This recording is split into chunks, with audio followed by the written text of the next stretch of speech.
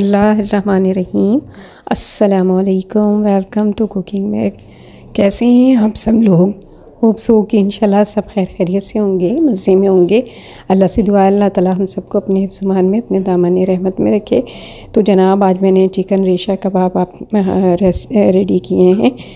तो इसको ज़रूर ट्राई करके देखिएगा, इंशाल्लाह आपको मज़ा आएगा। चलिए, चल के देखते हैं कि हमारे चिकन रेशा कबाब किस तरह से बन रहे हैं। इसमें रहीम ये देखिए चीज़ें आप देखिए इसमें नोट कर लें।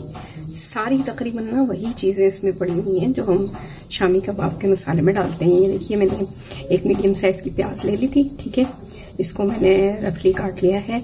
दो तेज़ पत्ते हैं, एक पोती हमारे पास जो है लहसन की है। इसके अलावा हमारे पास होल गरम मसाला ना, ठीक है? इसमें वन टी स्पून ज़ीरा है और स्टार अनीस है, काली मिर्च है। अच्छा काली मिर्च ना उसकी नस्बत हम इसमें थोड़ी ज़्यादा डालेंगे, ठीक है? लौंगे हैं, छोटी इलायची, बड़ी इलायची है दारचीनी है अच्छा इसके अलावा ये हमारे पास कुछ मिर्च है, ये हमने जो है आठ दस डाल दी है, ठीक है? बस अब हमने कुछ नहीं करना है इसमें पहले ये देखिए, मैंने दाल भिगा दी थी। ये तकरीबन वन आर हो चुका है ये डेढ़ कप दाल है जिसको मैंने भिगाया था। बस मैं अब ये इसमें डालूँगी। और उसके बाद में देखिए ये एक पीस है चिकन का, ठीक है? इसको हमने जो है ना कटिंग करनी है और उसके बाद जो है पहले हम दाल डालेंगे और उसके बाद फिर हम इसको जो है ना इसके ऊपर बिछा देंगे, ठीक है? इसमें हमने थोड़ा सा ना ऑयल डालना है पहले तो ठीक है? चलिए जनाब, ये देख लिया। दाल मैंने डाल दी, ठीक है? नमक मैंने बिल्कुल भी नहीं डाला है। और आप ये देखिए, इस तरह से मैंने ये लंबे लंबे पीस करके, फिर इसको जब हम उससे करेंगे फॉग से ना, इसके रेशे तो बड़े आराम से हो जाएँगे, ठीक है? इसलिए मैंने ये इस तरह के लंबे लंबे पीस बना दिए हैं, चिकन के, ठीक? अब बस अब हम इसको ढक के रख देंगे।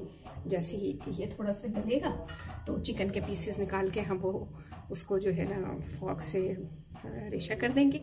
और दाल जो है, इसको हम मतलब मैशर से अच्छी तरह से मैश करेंगे। वो मैं फिर आपको साथ दिखा भी दूँगी।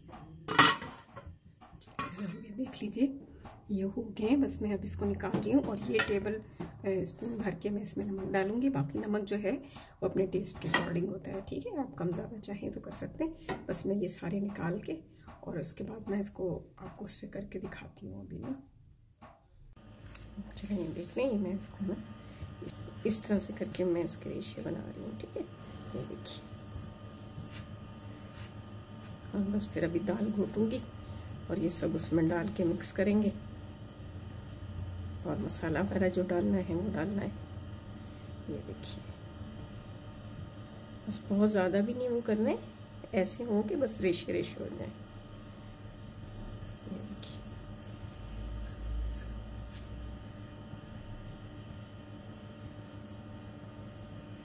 चलिए ये आप देख लें। ये दो टेबल स्पून जो है मेरे पास ठीक है। इनको भी ड्राई रोस्ट किया जाएगा। ये एक टेबल स्पून ज़ीरा है इसको वाइट ज़ीरा है। इसको भी हम ड्राई रोस्ट करेंगे और ये मेरे पास जो है कोरिएंडर पाउडर है वन टीस्पून और ये जो मेरे पास है ये भी वन टीस्पून जो है कोरिएंडर सीड्स हैं। कोरिएंडर सीड्स ज़ीरा एंड ये जो है तिल, इनको हम ड्राई रोस्ट करेंगे, ठीक है? बाकी ग्रीन मसाला है, वो मैं आपको साथ दिखाती जाती हूँ। जैसे डालूँगी, उसमें थोड़ा सा ग्रीन प्याज है ग्रीन चिलीज़ है, जो मतलब डलती हैं, और पुदीना है, धनिया है, ठीक है? बस ये चीज़ें हैं। बस ये करके फिर मैं आपको दिखा रही हूँ सब। चलिए जनाब ये देख लीजिए। ये मैंने इसमें एक अंडा भी डाल दिया है, जो मसाला पीसा था वो ये डला हुआ है सारा। और दाल को देखिए मैंने इस तरह से सारा जो है ना, चॉपर की सॉरी, वो मैशर की मदद से मैश कर लिया था। अच्छा जनाब, ये देखिए मेरे पास चिकन जिसको मैंने रेशा रेशा कर दिया है। ठीक है। और ये तमाम ग्रीन मसाला है, इसमें देखिए थोड़ी सी ग्रीन प्याज है, हरी मिर्चें हैं, ये धनिया पुदीना है।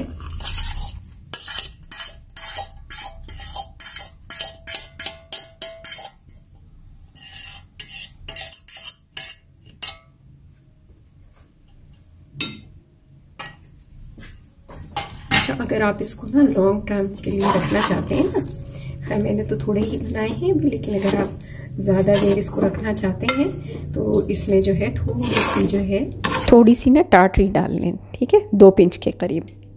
चलिए मैं इसको मिला के इसके कबाब बनाती हूँ फिर मैं आपको दिखाती चलें जनाब बिस्मिल्लाह रहीम ये देखें ये मेरे कबाब जो है मैंने बना लिए थे इस तरह से ठीक है? अब मैं इनको जो है फ्राई करने लगी हूँ आपके सामने मैंने देखिए इसमें ऑयल डाल दिया कर दिया है वन बाय वन हम इसमें डालते जाएँगे।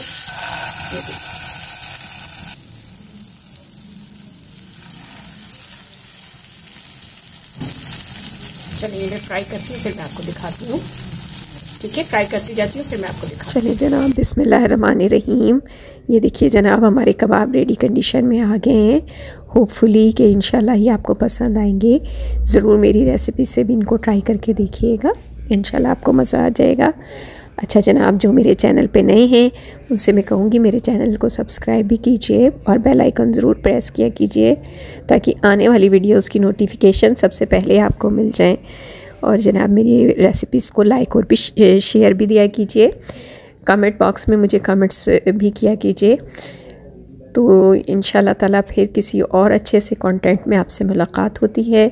दुआओं में मुझे ज़रूर याद रखिएगा। अल्लाह हाफिज़।